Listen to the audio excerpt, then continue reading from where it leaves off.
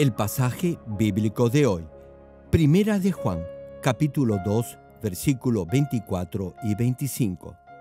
Lo que habéis oído desde el principio permanezca en vosotros. Si lo que habéis oído desde el principio permanece en vosotros, también vosotros permaneceréis en el Hijo y en el Padre. Y esta es la promesa que Él nos hizo, la vida eterna. Primera de Juan capítulo 2 versículo 15 y 16. No améis al mundo ni las cosas que están en el mundo. Si alguno ama al mundo, el amor del Padre no está en él, porque todo lo que hay en el mundo, los deseos de la carne, los deseos de los ojos y la vanagloria de la vida, no proviene del Padre, sino del mundo. Amados hermanos en Cristo, en 2 de Corintios capítulo 11, versículo 12, el apóstol Pablo nos dice, porque os celo con celo de Dios, pues os he desposado con un solo esposo para presentaros como una virgen pura a Cristo. Aparte de esta cita, en muchas otras partes, la Biblia se refiere a nuestro Señor Jesucristo como el novio o esposo de todos los creyentes que son salvos. Independientemente de su género, todos los creyentes son las novias del Señor y cada día de nuestras vidas en esta tierra debemos prepararnos como esas novias antes del banquete de bodas, porque el Señor vendrá pronto. Hermanos, incluso las novias en este mundo se embellecen lo mejor posible antes de la ceremonia nupcial para lucir más bellas al novio. De la misma manera, deberá prepararse para lucir lo más bella posible para su Señor y Salvador. Y no solo me refiero al aspecto externo o físico, también deberá hacer que su espíritu, alma y cuerpo se perfeccionen y refinen lo más bellamente posible como novias del Señor. Además, dado que estamos viviendo los días finales antes del retorno de nuestro Señor, deberá estar listo y preparado mientras se espera el banquete de bodas. Y una vez que venga el novio, ya no habrá un minuto más para alistarse. Por eso, Primera de Tesalonicenses capítulo 5, versículo 23 expresa, y el mismo Dios de paz os santifique por completo, y todo vuestro ser, espíritu, alma y cuerpo sea guardado irreprensible para la venida de nuestro Señor Jesucristo.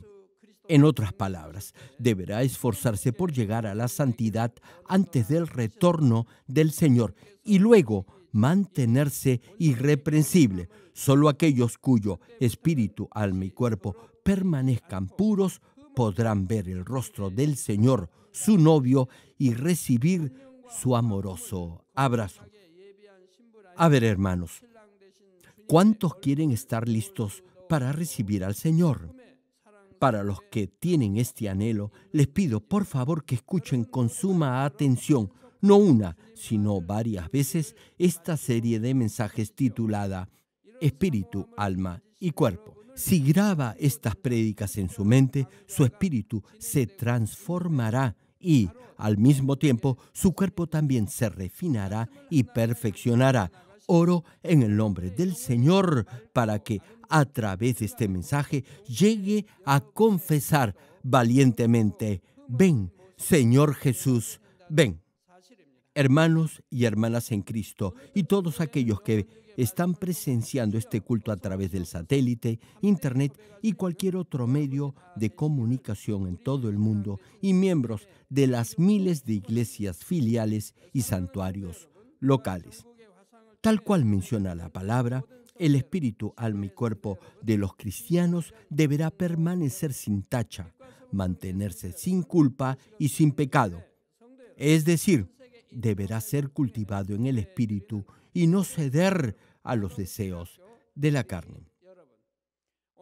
Para eso deberá desechar todo elemento carnal de su ser.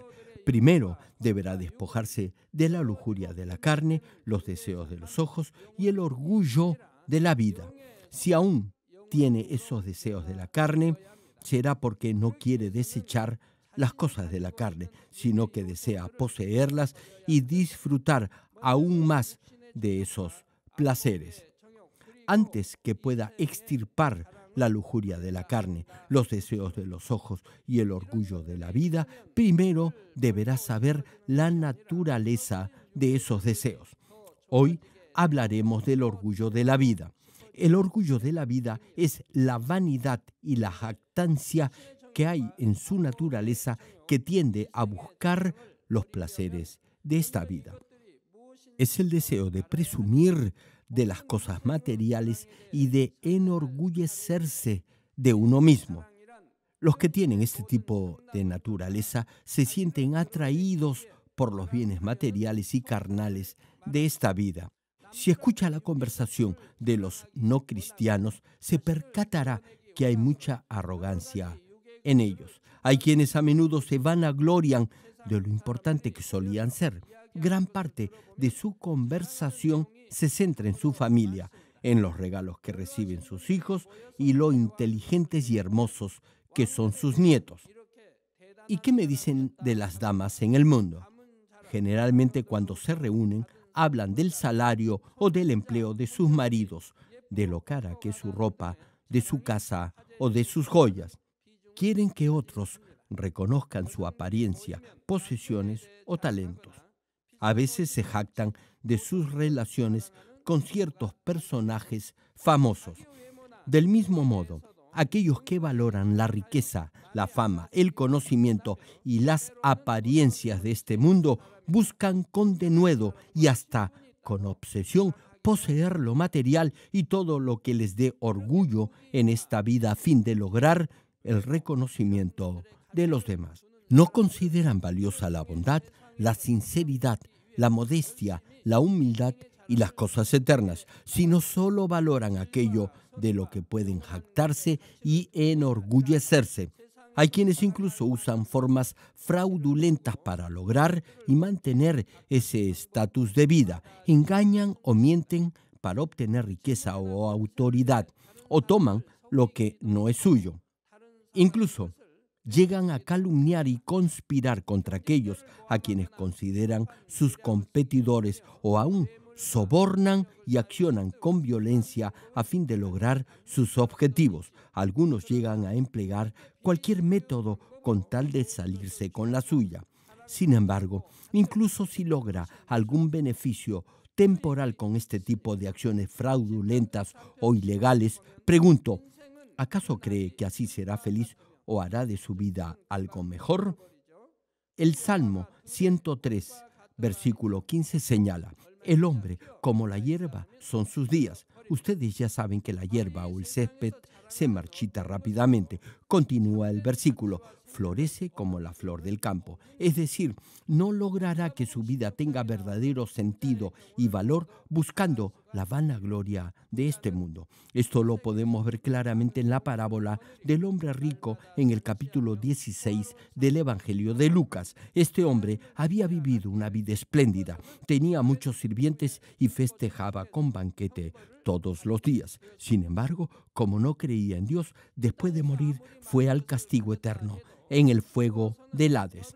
A pesar que tenía todo lo que este mundo podía ofrecer, después de su muerte ni siquiera podía obtener una sola gota de agua para refrescar su lengua. Por eso, toda su riqueza y esplendor no le sirvió de nada. Después de morir, hermano, nada material tiene valor alguno. Incluso el gran rey Salomón quien disfrutó de toda la riqueza y honor como rey de Israel, en sus últimos años de vida confesó en Eclesiastés capítulo 1, versículo 2 al 3, lo siguiente, vanidad de vanidades, dijo el predicador, vanidad de vanidades, todo es vanidad. ¿Qué provecho tiene el hombre de todo su trabajo con que se afana debajo del sol?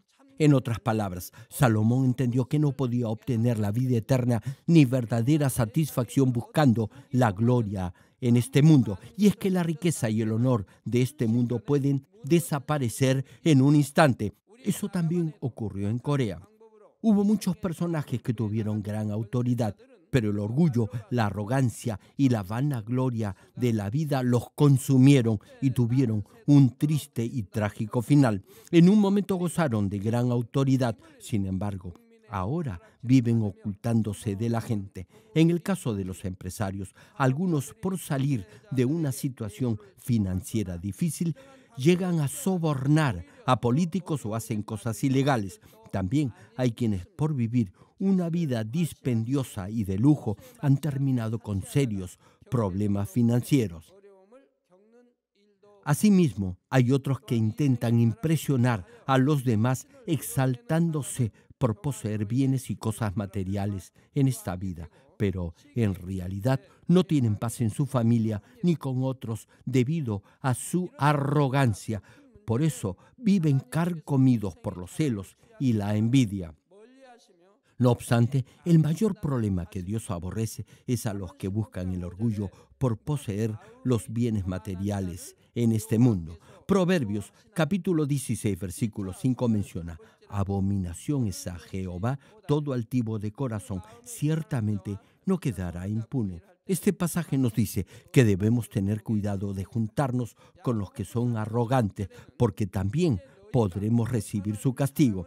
En Santiago capítulo 4, versículo 16 leemos, pero ahora os jactáis en vuestras soberbias, toda jactancia semejante es mala. Es decir, si alardea con fanfarronería sin pensar, su actitud será siempre reprochable. En la Biblia podemos ver que aquellos que buscaron con maldad la fama y la gloria para ellos mismos fueron abandonados por Dios y murieron trágicamente. Uno de ellos fue el rey Saúl, el primer rey de Israel. Al principio, cuando fue ungido como rey, no presumió ni se exaltó por ser rey. En cambio, estaba avergonzado e incluso trató de esconderse. No obstante, una vez que se convirtió en rey y probó el poder, no obedeció a Dios buscando su propia gloria. En una ocasión, Dios le ordenó a Saúl que destruyera a Amalek y a todo el pueblo amalecita, incluso niños, mujeres y ganado. Sin embargo, Saúl perdonó a Agag, rey de Amalek, y lo mejor de las ovejas y el ganado. No quiso acabar con todo el ganado. Pensó que sería más glorioso para él capturar al rey enemigo. Debido a su avaricia y al orgullo por recibir la gloria de este mundo, desobedeció a Dios. Entonces Dios envió al profeta Samuel para decirle que debido a su desobediencia lo había abandonado. Y entonces, ¿qué hizo Saúl? ¿Acaso se arrepintió de inmediato y pidió perdón? No, no hizo eso. Primera de Samuel capítulo 15, versículo 30, narra que dijo Saúl. Y él dijo, yo he pecado, pero te ruego que me honres delante de los ancianos de mi pueblo y delante de Israel, y vuelvas conmigo para que adore a Jehová tu Dios. Hermano, Saúl dijo que había pecado, pero aún así le pidió a Samuel que lo honrara acompañándolo. Saúl, repito, reconoció que había pecado, sin embargo, no fue lo suficientemente humilde al hacerlo. En realidad, no le importaba ser perdonado solo estaba interesado en verse bien ante el pueblo. Por eso le pidió a Samuel que volviera con él para honrarlo ante los ancianos y ante el pueblo de Israel.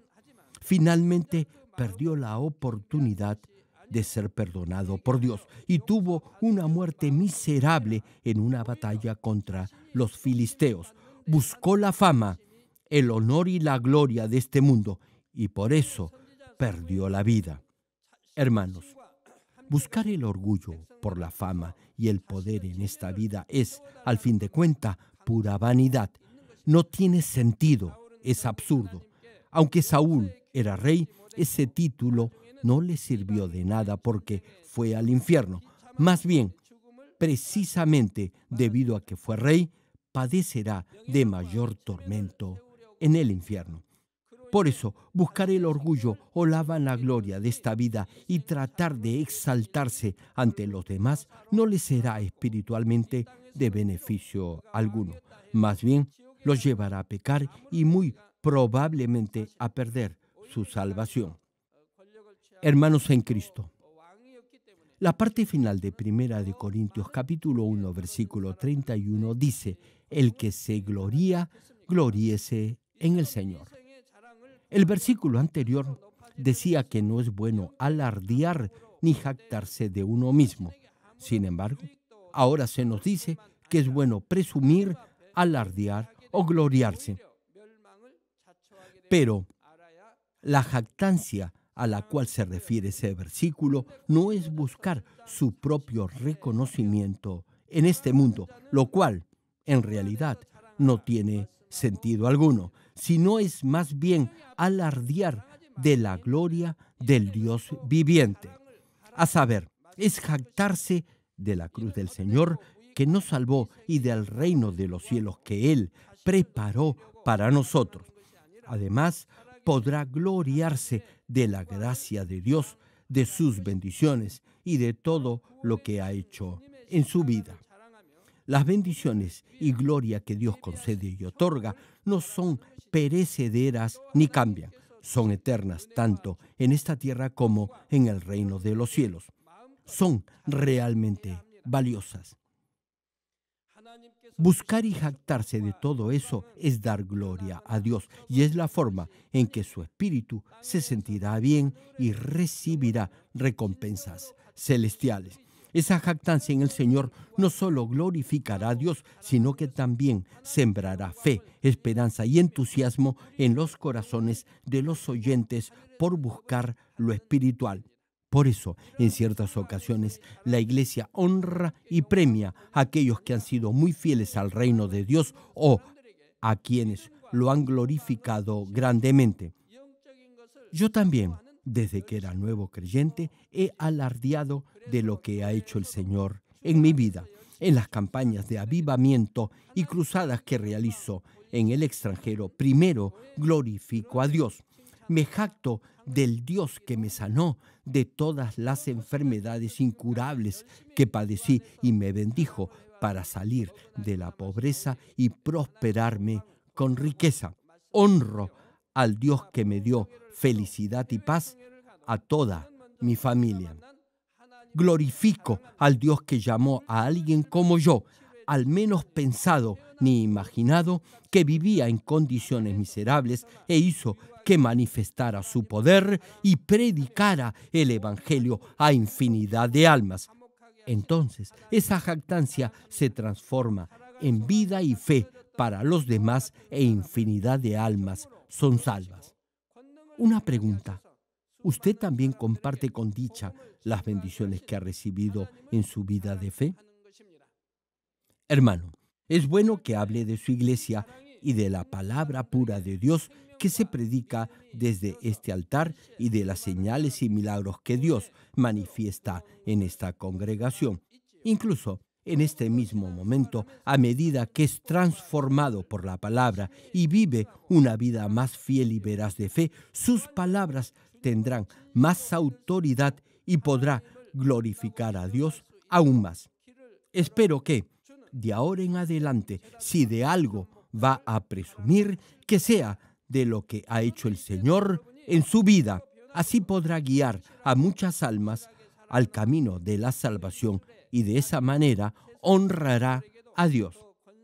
Hermanos y hermanas en Cristo, desde que era nuevo creyente viví una vida cristiana entusiasta y desde que experimenté por primera vez la gracia de Dios, amé primero solo a Dios y le entregué a mi familia y a mis hijas y oré para que bendijera a toda mi familia. Una de las primeras bendiciones que recibí fue que mi hija mayor ganó muchos diplomas por destacar en sus estudios en la escuela. A pesar que no tenía ninguna beca y no había tomado clases particulares después del colegio, obtuvo muchos premios en diferentes tipos de competencia. Por eso, teníamos muchos certificados en casa.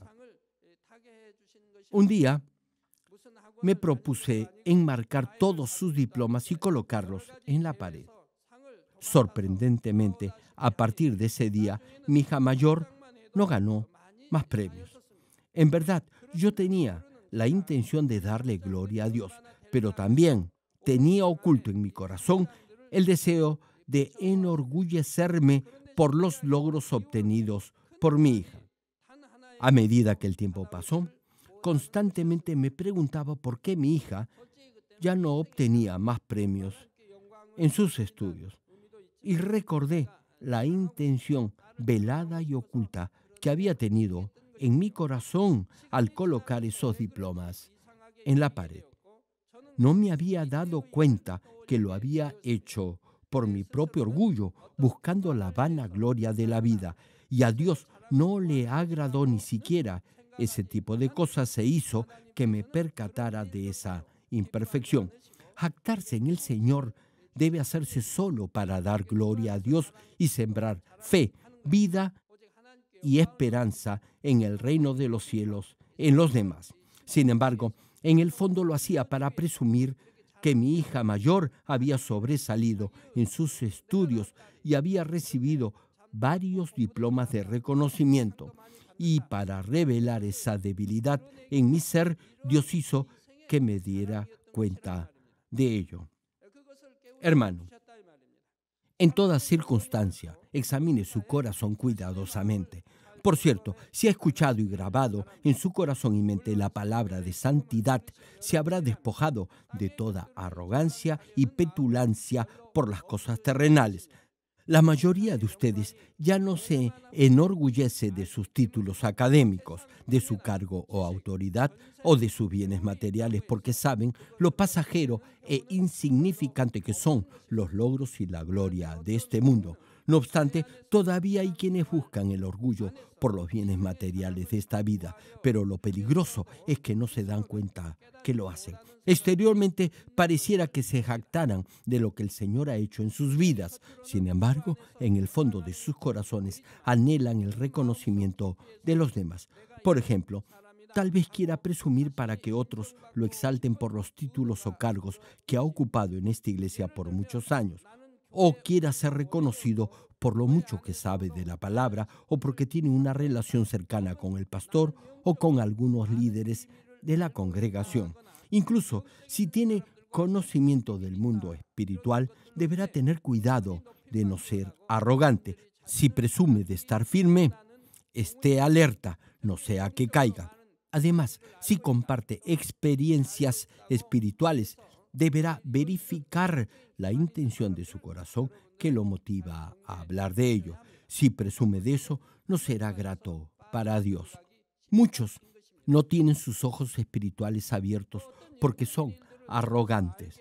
Si realmente desea compartir la gracia de Dios y honrar al Señor, primero vea si es correcto decir lo que sabe y si al compartirlo tiene en cuenta el nivel de fe y el corazón de quien lo está escuchando. También deberá considerar si es edificante o no para el oyente. Debe considerar si su interlocutor acepta o no lo que está diciendo, o si lo ve como alguien raro, o si al decir lo que está compartiendo en realidad no está honrando a Dios. Tal como menciona Romanos capítulo 15, versículos 2 y 3, que dice, cada uno de nosotros agrade a su prójimo en lo que es bueno, para edificación, porque ni aun Cristo se agradó a sí mismo, antes bien, como está escrito, los vituperios de los que te vituperaban cayeron sobre mí. En otras palabras, deberá apoyar a los demás y buscar su bien. Así los ayudará a confiar más en Dios. Sin embargo, algunos presumen de ser muy espirituales y de su amor al Señor e incluso al pastor. No obstante, lo hacen con la intención de recibir reconocimiento personal y no para la gloria de Dios. En ese caso, no es edificante, sino estará presumiendo en su propio ego. Hermano, si es elogiado o si se incomoda o molesta cuando alguien le llama la atención o lo reconviene, deberá examinar su corazón y ver si es o no orgulloso. Si no tiene orgullo de la vida, no se sentirá exaltado por los elogios ni se desanimará por algún reproche. Cuando es reconocido o encomiado, examine su corazón e incluso si se le amonesta, deberá estar agradecido porque de esa manera podrá percatarse de su arrogancia y así podrá seguir cambiando en la verdad. Examine sus palabras y acciones y no permita que el orgullo por la vida entre en su corazón, buscando ser reconocido y exaltado por el hombre en lugar de ser exaltado por Dios. Aquí concluyo. Amados hermanos y hermanas en Cristo. Filipenses capítulo 3, versículo 20 y 21 menciona, mas nuestra ciudadanía está en los cielos, de donde también esperamos al Salvador, al Señor Jesucristo, el cual transformará el cuerpo de la humillación nuestra para que sea semejante al cuerpo de la gloria suya, por el poder con el cual puede también sujetar a sí mismo todas las cosas. Hermano, usted y yo, que creemos en el Señor Jesucristo, tenemos la ciudadanía del reino de los cielos, sin importar dónde hayamos nacido en esta tierra. Pero no todos los ciudadanos del cielo tienen la misma gloria, dependiendo del tipo de gloria que cada uno buscó durante su vida en esta tierra. La gloria que cada uno recibirá en el cielo será diferente. Si de algo va a presumir o a sentirse orgulloso, que sea de lo que ha hecho el Señor en su vida y así le dé gloria a Dios. De esa manera su gloria será más grande en el cielo. A los que lo glorifican, Dios los bendecirá incluso en esta tierra. Sin embargo, en el cielo Dios glorificará a cada uno de acuerdo a su estricto criterio de justicia. Les comento algo. Una familia me vino a ver a mi oficina hoy. Me conmovió su historia. Se las cuento. Oré por ellos para que Dios los bendijera y me dicen que me ven en sus sueños. Hay muchas familias por las que oro y Dios los está bendiciendo abundantemente. Hermanos, no es difícil que Dios los bendiga. La familia de la que les estoy hablando ahora diezma mensualmente más de dos mil dólares, lo que significa que sus ingresos mensuales son más de 20 mil dólares. Las ventas de su compañía durante el año pasado fueron de más de 3 millones de dólares y este año su objetivo es superar los 7 millones de dólares y están seguros de lograrlo. Ahora están exportando sus productos a otros países. Sin embargo, a pesar que dan un diezmo de más de 2 mil dólares, todavía viven en una casa alquilada.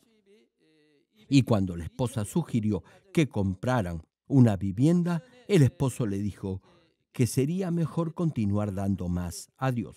En realidad, la esposa no lo sugirió porque codiciaba tener una casa propia. Ella, como toda mujer, solo quería tener su casa. No obstante, debido al esposo, no lo habían hecho. Entonces les dije que compraran una casa este año. El hombre se siente seguro cuando tiene una casa propia. Más aún, lo hará su esposa y toda la familia. Por eso le sugerí que compraran una casa este año. Hay otra familia que actualmente ofrece más de 10 mil o a veces más de 20 mil dólares de diezmo mensualmente. También les dije que compraran su vivienda. Sin embargo, aún no lo han hecho. Están demasiado ocupados dando todo lo que pueden a Dios. Por eso todavía no la han comprado. Se los he sugerido varias veces, pero todavía no lo han hecho. Creo que lo harán este fin de año. La familia que vino hoy también es muy amable. Siempre se acuerdan de mí. Tienen una buena cantidad de ingresos. No obstante, el dinero no les dura una semana ¿Saben por qué? Porque siempre están ayudando a otros. Siempre buscan a los más necesitados para ayudarlos y también apoyan en otras áreas de la iglesia. Por eso su dinero no les dura una semana. Sin embargo, nunca les falta. Significa que su alacena y su billetera siempre están llenas todo el tiempo y por eso siguen ayudando a los demás. Le dan a Dios todo lo que pueden, especialmente para las cruzadas en el extranjero y cuando la iglesia estaba en dificultades financieras ya hace mucho tiempo, dieron todo lo que pudieron a Dios. Hermanos, Dios mire el interior y lo profundo de su corazón. Y a estos hermanos les ha abierto la senda de las bendiciones. Cuando miro el proceso que han vivido, veo que Dios los guió de su mano para que llegaran a ser dueños de esa empresa y ahora son dueños de una compañía que exporta a muchos países y tienen ventas anuales por más de 700 millones de dólares. La empresa ha crecido en muy poco tiempo y dicen que sueñan conmigo y me ven orando para que Dios los bendiga y los guíe. A veces vienen y yo oro por ellos. Ahora Dios los está prosperando en forma abundante y su compañía está creciendo rápidamente. Estos hermanos tienen un buen corazón. Ellos aman primero a Dios y luego ayudan a los más necesitados. Debido a que tienen esta clase de corazón, Dios los está guiando y bendiciendo. Además, hay otro matrimonio. Ambos se han graduado en buenas universidades en este país. No obstante, aún viven en una casa alquilada. Antes vivían en una casa más grande, pero retiraron el depósito de garantía y se lo ofrendaron a Dios. Siempre hicieron todo lo posible por dar a Dios. Finalmente fueron a dar a una pequeña casa alquilada donde había roedores. Cuando la iglesia atravesó por dificultades económicas, esta familia retiró el depósito que habían dado de garantía por su casa y se lo dieron a Dios y se mudaron a esa pequeña casa alquilada. Yo estaba tan desconsolado al saberlo. Se imaginan, estaban viviendo en una casa donde había ratas. Sentí mucha pena y a la vez simpatía por ellos y oré por su bendición. Ayer el esposo recordó esos momentos. Ahora ya tienen una casa propia por la bendición de Dios. Me cuentan que ahora son felices. Me mostraron unas fotos de su casa y habían decorado la habitación principal como para un rey y una reina. La decoraron muy bien, desde la pintura hasta los muebles. La esposa lo hizo ella misma, decoró ella misma toda su casa. Ahora viven muy felices. Se imaginan, vivieron en una casa donde había roedores. Sin embargo, ahora Dios les dio una hermosa casa para vivir y están muy felices y han continuado dando a Dios. Ambos también tienen en su corazón la esperanza viva por llegar a la nueva Jerusalén. Están creciendo en el Espíritu y de seguro que alcanzarán la plenitud del Espíritu completo. Tienen sus ojos y su corazón puestos en la nueva Jerusalén.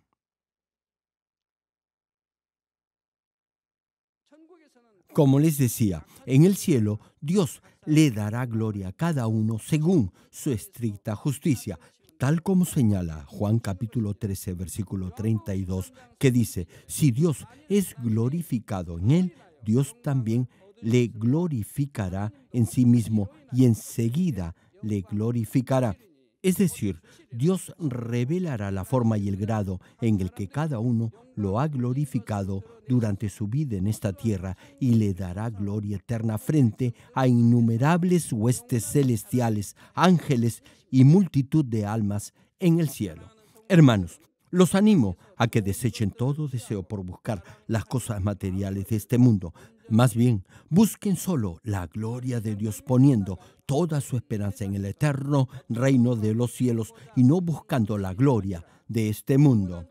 Oro en el nombre de nuestro Señor Jesucristo para que si de algo tiene que presumir y jactarse, que sea de lo que nuestro amado Señor Jesucristo ha hecho en su vida. Así recibirá gloria eterna en el reino de los cielos.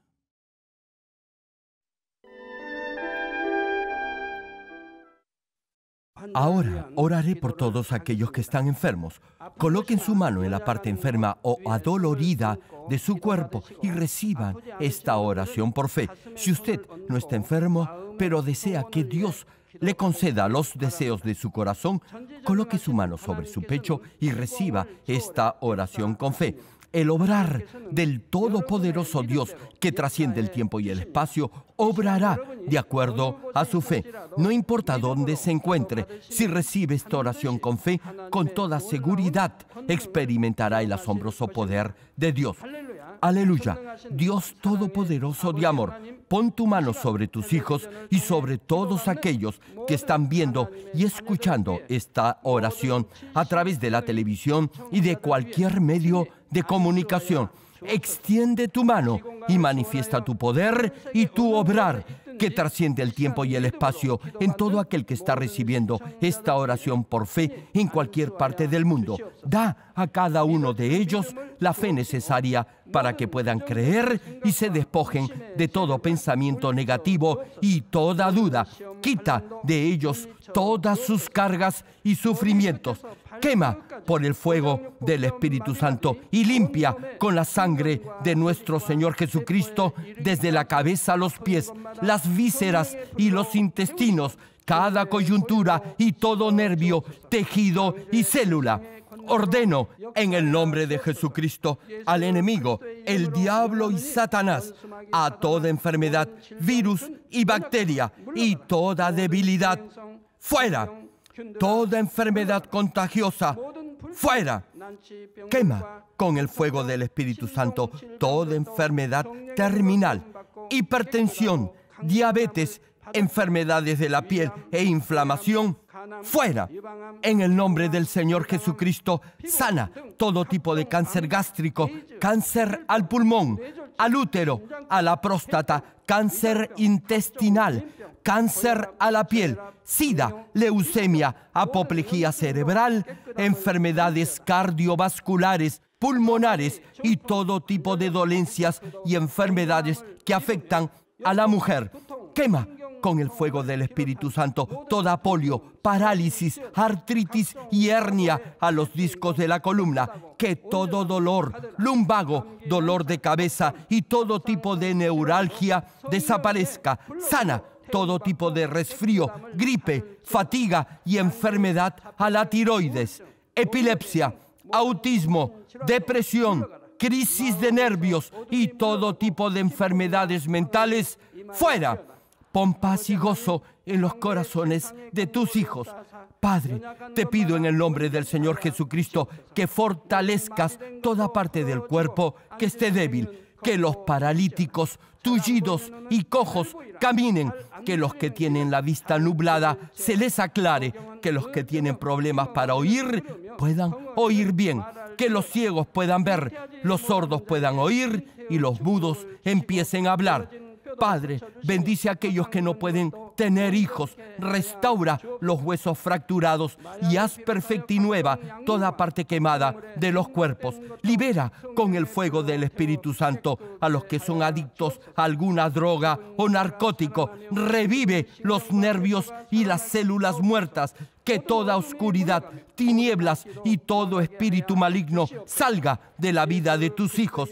Ordeno en el nombre de Jesucristo al enemigo, el diablo y a Satanás y a toda potestad del aire, fuera todo poder de las tinieblas, espíritus malignos, espíritus perversos, deshonestos, espíritus engañadores, astutos, espíritus de división, fuera que toda cadena de injusticia y toda atadura se rompa, que la luz de tu espíritu resplandezca en sus vidas. Dios Padre, fortalece sus espíritus y sus cuerpos. Dales la fortaleza necesaria para que puedan clamar a ti.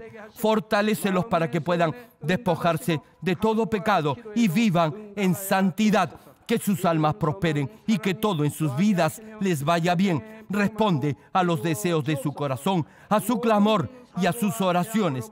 Aumentale la fe, la esperanza y el amor y que sus familias también puedan oír y creer en las buenas nuevas del Evangelio. Protégelos de todo accidente y desastre y bendícelos para que lleven una vida próspera y sin inconvenientes.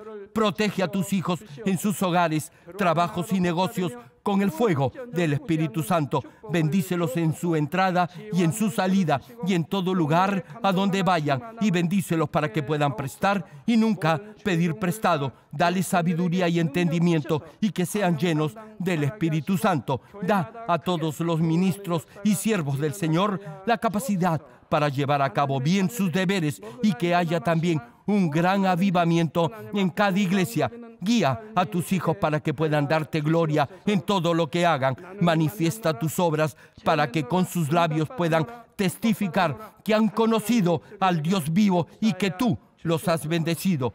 Gracias Padre, toda la gloria sea para ti. He orado en el nombre de nuestro Señor Jesucristo. Amén.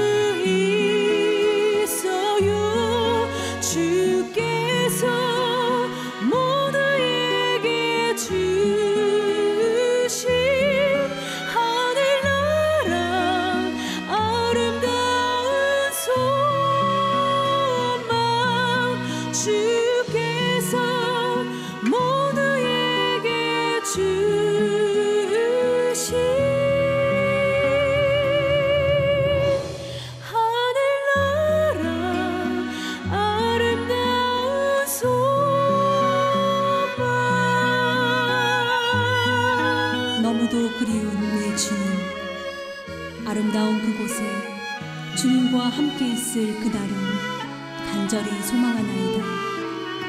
주님,